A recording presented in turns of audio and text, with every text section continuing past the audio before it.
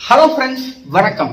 India China பார்டர்ல லடாக் பகுதியில நாளுக்கு நாள் பதற்றம் அதிகரிச்சுட்டு வரக்கூடிய சூழ்நிலையில இந்தியா எல்லையில ஒரு சில முக்கியமான நடவடிக்கைகள் எடுத்திருக்காங்க. லடாக் மாதிரியான ஹை ஆல்டிடியூட் கரடு முரடான பகுதியில வந்து ஒரு ராணுவத்தை நிறுத்தி செயல்படுறது அப்படிங்கிறது வந்து அவ்வளவு எளிதான விஷயம் இல்ல. இந்த மாதிரி பார்டர் வந்து வேற எந்த நாட்டுக்கும் கிடையாது. இந்தியா சைனாவுக்கு தான் இந்த மாதிரியான பார்டர் இருக்கு. ஆள் நடமாட்டம் இல்லாத பகுதி அதே மாதிரி ரொம்ப உயரமான பகுதி. சோ இந்த இடத்துல வந்து நம்ம செயல்படுறது ஒரு சவாலான விஷயம் தான் அதுலயும் பேங்காக் ஷோ ஏரி எடுத்துக்கிட்டோம்னா அது வந்து நூத்தி முப்பத்தி நான்கு கிலோமீட்டர் நீளம் கொண்டது. மூன்றில் இரண்டு பங்கு பகுதியை வந்து சைனா வந்து அவங்களுடைய கட்டுப்பாட்டில் வச்சிருக்காங்க. தரை மட்டத்திலிருந்து பதிமூணாயிரத்தி தொள்ளாயிரம் அடி உயரத்துல வந்து இந்த பேங்காங் ஷோ ஏரி அப்படிங்கிறது இருக்கு. இந்த ஏரியை காக்குறது எப்பவுமே ஒரு சவால் நிறைந்த பணியா தான் இருக்குது. கடந்த இந்தியா சைனா மோதல் ஏற்பட்டதுமே இந்தியா சார்பில் இருந்து பனிரெண்டு எண்ணிக்கையிலான அசால்ட் போட் எல்சிஎன் சொல்லுவாங்க லேண்டிங் கிராஃப்ட் அசால்ட் போட்ஸ். இந்த போட்ஸ் வாங்குறதுக்காக ஆர்டர் பண்ணியிருந்தாங்க. இந்த பனிரெண்டு எண்ணிக்கையிலான எல்சிஏ போட்ஸ் வந்து இப்ப அந்த பகுதியில வந்து டிப்ளாய் பண்ணியிருக்கிறாங்க. இந்த ஒவ்வொரு போட்லயும் முப்பத்தி ஐந்து இந்திய வீரர்கள் வந்து பயணிக்க முடியும். இன்னைக்கு இருக்கக்கூடிய ஒரு நவீனமான ஒரு போட்டாவும் இது இருக்குது. இந்த போட்ல இருந்து அந்த பேங்காங் ஷோ ஏரியினுடைய நடுப்பகுதிக்கு சென்று அங்க வந்து ஆபரேஷன் செஞ்சு போர் ஒத்திகையில வந்து இந்தியா ஈடுபட்டிருந்தாங்க. மேலும் இந்த பகுதியை கண்காணிக்கிறதுக்காக சில அட்வான்ஸ்டு சர்வேலன்ஸ் கேஜட்ஸையும் இந்திய ராணுவத்துக்கு வழங்கியிருக்கிறதால் பாதுகாப்பு அமைச்சகம் சார்பிலிருந்து தெரிவிச்சிருக்காங்க.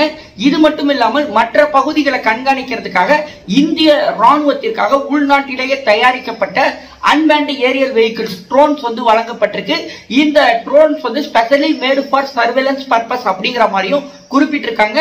மேலும் இந்திய வீரர்களுக்கான அந்த குண்டு துளைக்காத சீருடைகள் அவங்களுக்கான அதிநவீன எக்யூப்மெண்ட்ஸையும் இந்தியாவுடைய பாதுகாப்பு அமைச்சர் ராஜ்நாத் சிங் அவர்கள் வந்து வழங்கியிருக்காங்க.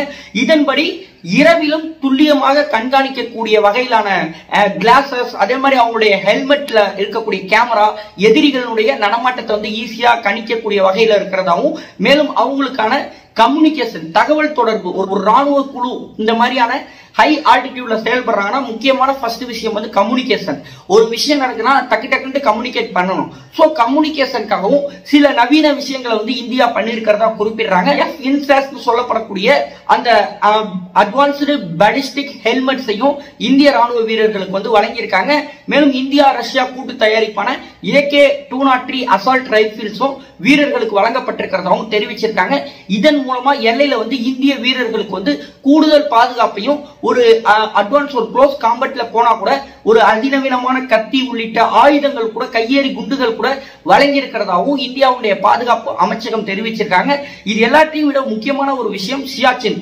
சியாச்சின் தான் இன்னைக்கு இருக்கக்கூடிய உலகத்திலேயே மிக உயரமான இடத்துல வந்து நம்மளுடைய ராணுவத்தை வந்து நம்ம நிப்பாட்டிருக்கோம் வேற எந்த நாடுமே சியாச்சின் கிளாசியர் மாதிரியான ஒரு உயரமான இடத்துல வந்து ராணுவத்தை வந்து நிறுத்தல. பாகிஸ்தான் சைனா இரண்டு நாடுகளுடைய ராணுவத்தையும் சேர விடாமல் தடுக்கக்கூடிய ஒரு பகுதியா அந்த சியாச்சின் இருக்கு. ஏற்கனவே நம்ம இதை பத்தி சொல்லியிருந்தோம். இந்த பக்கம் வந்து பாகிஸ்தானுடைய ஆக்கிரமிப்பு காஷ்மீர் பகுதி இருக்கு. இந்த பக்கம் வந்து அக்சைசின் இருக்கு. இந்த இந்த சியாச்சின் கிளாசியர் மட்டும் நம்ம கிட்ட இல்லைன்னா சீனா ராணுவம் பாகிஸ்தான் ராணுவம் மீட் பண்ணுவாங்க. அந்த இடத்துல வந்து நம்ம நிப்பாட்டி வச்சிருக்கோம் இல்லையா?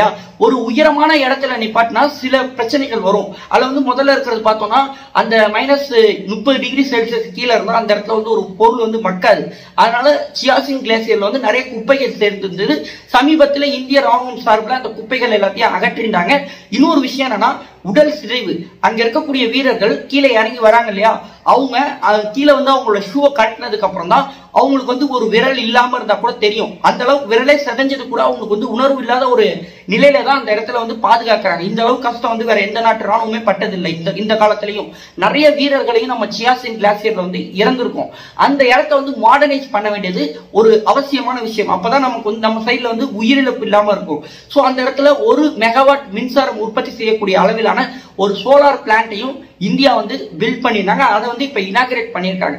இதன் மூலமா அங்க வந்து நம்ம மின் தேவை வந்து முழுமையா பூர்த்தி அடைய முடியும். மின் தேவை நம்ம பூர்த்தி செஞ்சாதான் வீரர்களுக்கு வந்து தேவையான அந்த கதகதப்பு ஒரு மெடிக்கல் அசிஸ்டையும் உடனடியாக ப்ரொவைட் பண்ண முடியும். ஸோ நம்ம வந்து ரொம்ப ஃபாஸ்டா வந்து எல்லையில வந்து ராணுவத்தை வந்து மாடர்னைஸ் பண்ணிட்டு இருக்கோம். இருந்தாலும் கூட இன்னும் வேகமா நம்ம எந்த அளவுக்கு நவீனப்படுத்துறோமோ அந்த அளவிற்கு வந்து நம்ம எல்லையில வந்து ஸ்ட்ராங்கா இருக்க முடியும் அப்படிங்கிற மாதிரி டிஃபென்ஸ் எக்ஸ்பர்ட்ஸ் வந்து குறிப்பிடுறாங்க.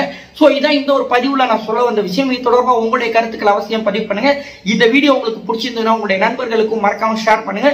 சப்ஸ்கிரைப் பண்ணுங்க. பெல் ஐக்கான் பிரஸ் பண்ணுங்க. தேங்க்யூ ஃபார் வாட்சிங் ஜெய் ஹிந்த்